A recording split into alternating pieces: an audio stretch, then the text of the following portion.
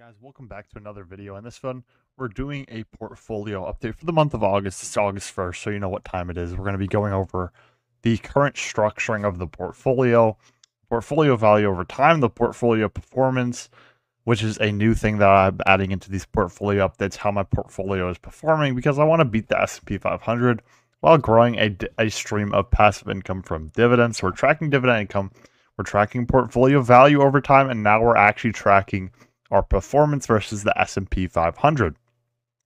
So we have that. And yeah, we're doing all of that. And yeah, it's going to be a portfolio update for the month of August, going over all those things. And uh, you guys know the drill. We've done this before. And before we get into it, let's roll the intro. I have been a rich man and I have been a poor man, and I choose rich every. I make investing content and my channel is Dividend Dude. You should leave a like and subscribe if you're going to enjoy the video. A disclaimer this is not financial advice. I am just a dividend growth investor trying to share my takes on dividend growth stocks and various other stocks. This is not financial or investment advice, and always do your own due diligence before investing. Okay, so here on Robinhood, we have the current portfolio structure.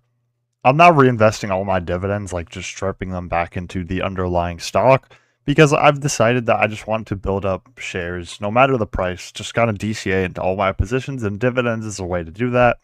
But other than that, I think what you could see most is that I added substantially to both Paycom and Visa.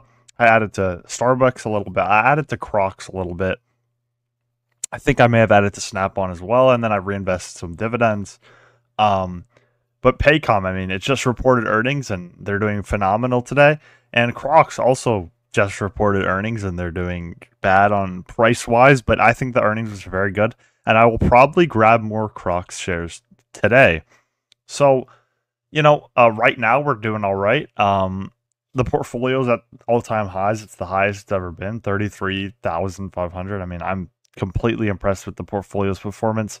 Today it's up a little bit. Over the past week, the portfolio is up 4.6% in one week. And over the past month, the portfolio is up 4.35% over the past three months, you can see it's had some fluctuation, but it's up a good amount over the past three months.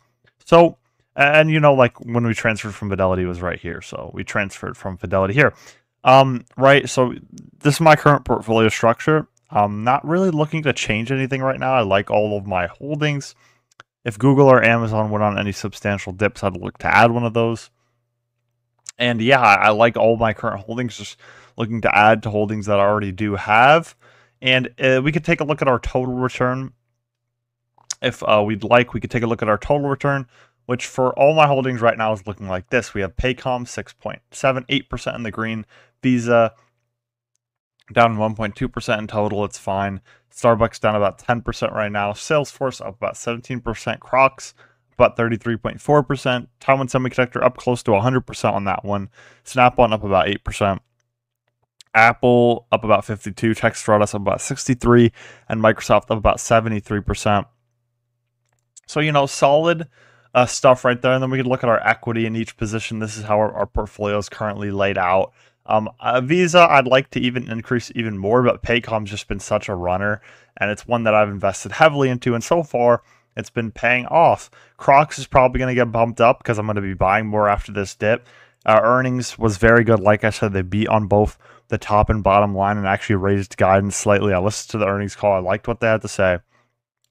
So it's probably one that I will be adding to at these levels as it's down another 5% today. But let's go over into our dividend income history, our portfolio value history, and the performance of the portfolio for the month of July. Okay, here's our dividend income history. You can see how our dividend income has progressed every single month. Um, we had a, small month. Uh, I, don't, I, don't, have many companies paying me dividends this month, but we had a $19.82 month. In the month of July, we got $19.82 of dividends that we just reinvested into all the other holdings. Um, and the interest was just paid to the cash position, but $19.82 were just reinvested into the underlying holdings in my portfolio which is completely fine by me. You can see my dividend income over time has been growing. I've gotten out of some higher yielding positions, so my dividend income may start not looking like as high. Vici was my highest yielding before, and I'm not in that one anymore.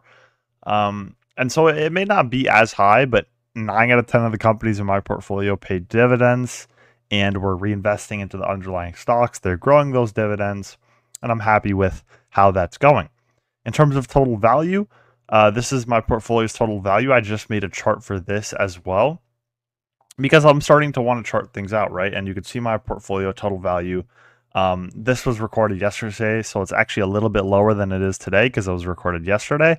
Um, but you could see how my portfolio value has progressed over time, and we're hitting all-time highs in the portfolio, which is definitely a good thing on terms of total value. And in terms of performance history, we had a very, very strong month in the month of July.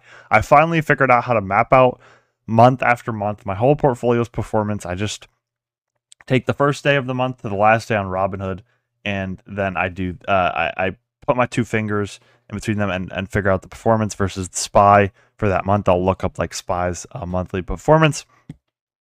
And I've done that and just tracked it. And then uh, before Robinhood, my Fidelity account just tracked it on its own, but now I have to track it on my own.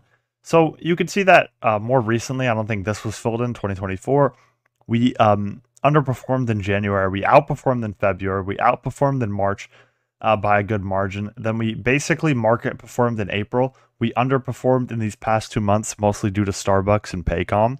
And then in the month of July, we regained outperformance substantially I would like to see where these annual totals come in. I think I'll outperform for 2024. And in the most recent month, we outperformed by over 2%. So very strong performance for my portfolio in the most recent month of the month of July. Now that's it for the portfolio update. It was a little bit short. We're just running through it. I don't want to, you know, uh, collect AdSense off you guys or anything by making these longer than they have to be. They're just portfolio updates that I like making for you guys. I'm going to be going on family vacation uh, starting on Saturday. So I'm going to schedule an upload or two for you guys there and uh, keep expecting uploads on X, posts on X. And I'll see you guys in the next one. Have a great day. Peace.